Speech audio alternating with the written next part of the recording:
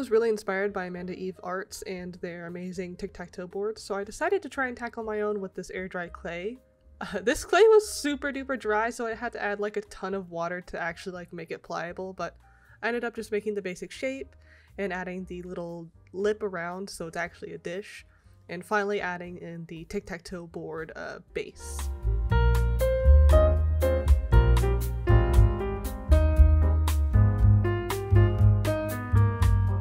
The actual pieces were pretty hard to film, but I decided to do the money bag and the furniture slash leaf icon because I feel like those were the easiest. Money bag was easy to just like press it down, but the leaves I had to like pinch and also like do the little cutout. Next time I would do this in polymer clay though, just to make it stronger. So I think I did like a little bit of an oopsie because, ignore her back there, because I made these with the intention of getting this video out like on Friday and like getting everything done on Thursday, but um, also, this is air dry clay, and this is like super thick. So I think I need to go like pop, pop it in, in the oven for it to fully cure in time. So hopefully it doesn't crack. We'll see. I carefully did bake them at 200 degrees, very low and slow, no cracks. And then I needed to sand them. So um, Sanding them was a process of love and labor, but basically just took it onto some sandpaper and made the little tic-tac-toe pieces really smooth, and then went back to the tic-tac-toe board and removed all of the harsh edges and lips that were on there.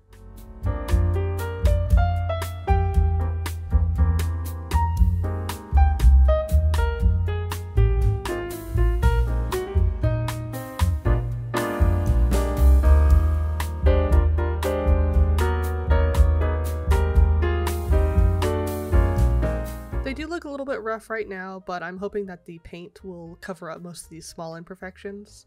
But first, of course, we need to seal it because it is air dry clay and if you introduce water back into it, it will crack and break.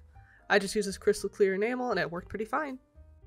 Finally, my favorite part, of course, is painting. Um, as you can see, it's very hard to film this part, but I just globbed on some green paint to the leaves, brown paint to the bags, and of course painted the apple base.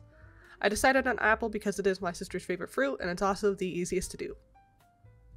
I'm just lucky she didn't choose like something like cherries or something. That would have been a, like a nightmare.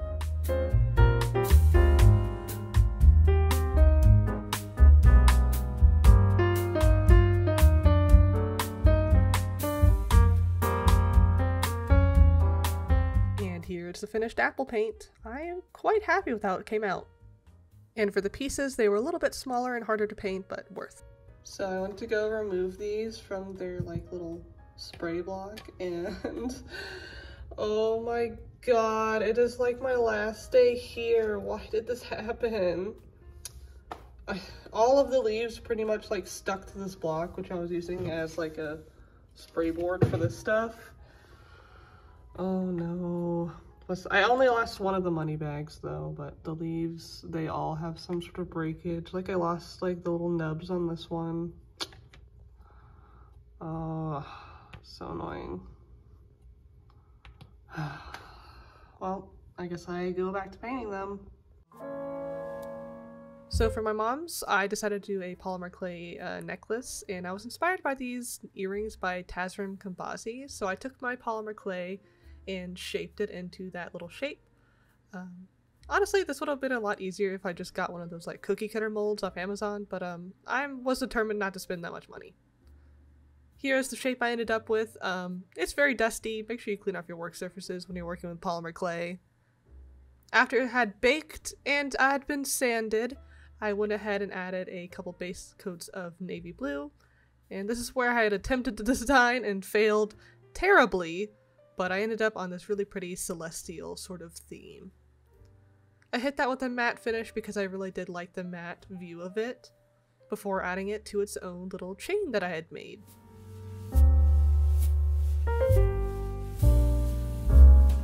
So for my dad's Christmas gift, I decided simple is probably the best, and nothing is more simple and great to give as a gift than a handmade blanket. And this fabric that I got from Joann's was like really cool. I really like this fabric. It's like a Sherpa, but uh, the designs are so cool, so let's go make that.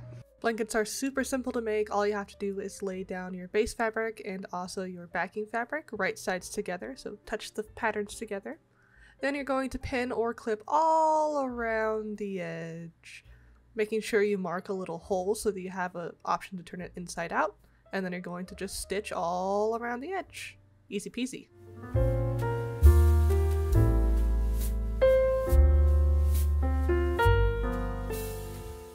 I use a zigzag stitch because this fabric has a little bit of stretch to it. This blanket is huge and took up my entire sewing table, but I'm really happy with how it came out.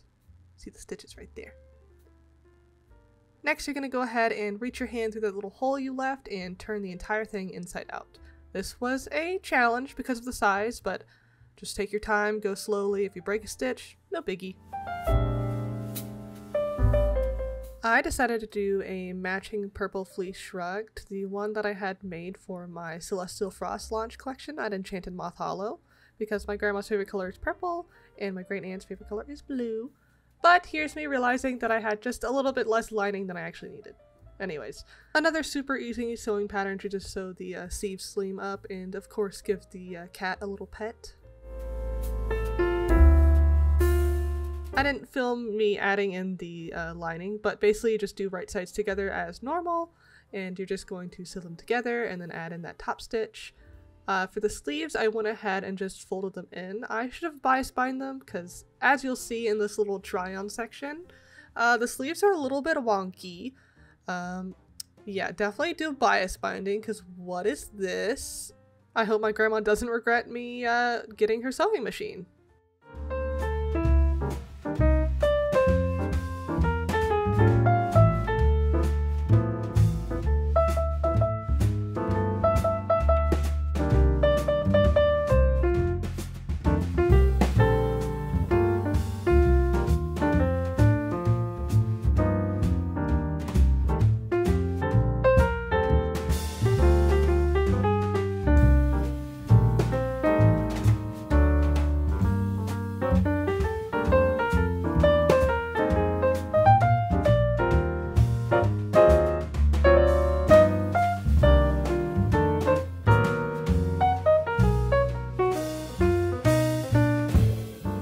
All so much for watching this video and I honestly really love doing all of this. I've always wanted to make Christmas gifts for my family but I've never had like the time to so I just want to say thank you all, all for supporting this channel and being around and I hope that you enjoyed and maybe got some inspiration for this year. it's a little a little press of the, uh, the timeline or, or next year.